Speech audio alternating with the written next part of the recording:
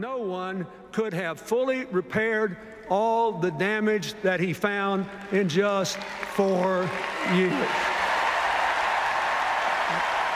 He has laid the foundations for a new, modern, successful economy of shared prosperity. And if you will renew the president's contract, you will feel it. You will feel it.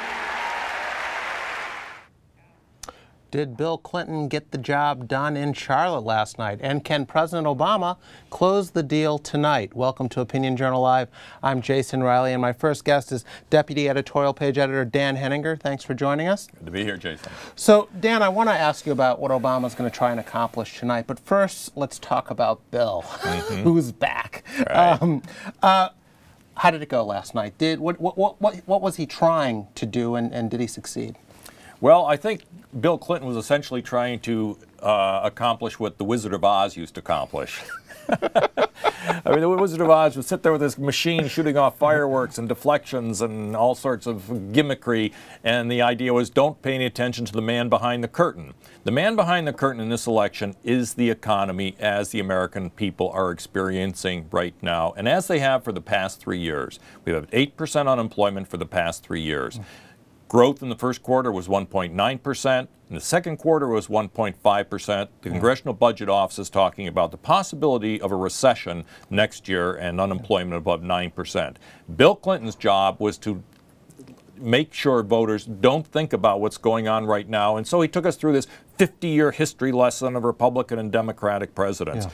In that clip that we just saw, in which he said no president could be expected to repair all the damage, yes, but it is almost nonsensical, it seems to me, for him to argue that a president who's been in office for four years and has been in, in, in establishing policies mm -hmm. doesn't have some relationship to the yeah. economy as it exists right now, yeah. which is virtually dormant. So he was trying to give Obama some cover.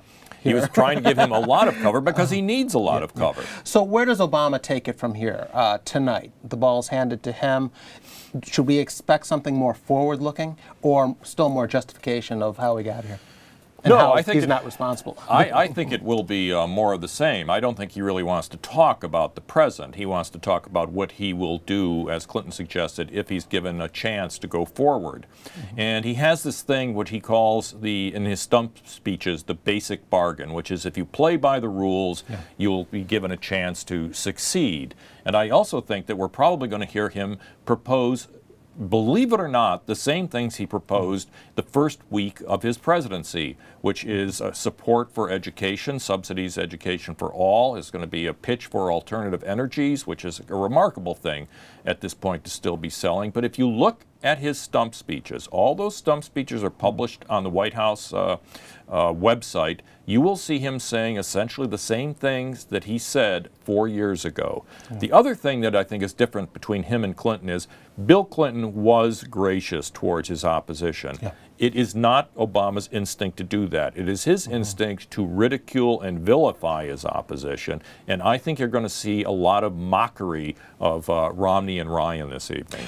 Speaking of Romney, what, what is his challenge here in terms of rebutting this narrative, what I would consider a false narrative of how we got here and how the current president is not really responsible for this high unemployment and this slow economic growth? Have Romney and Ryan been able to put out a, a coherent alternative narrative? Well, they didn't really do it at the convention. Now they have time. I mean, their convention was just last week. Right. And we are going to have three presidential debates in which it is going to be impossible for Mitt Romney to duck these questions because the uh, people running the debates are going to ask him specifically right. about his plans for Medicare and Paul Ryan's plans for Medicare. So he better come prepared for something, shall we say, similar to what Bill Clinton did, his own set of facts and figures. Okay, Dan, thank you for joining us. Good to be Appreciate with you, Jason. It.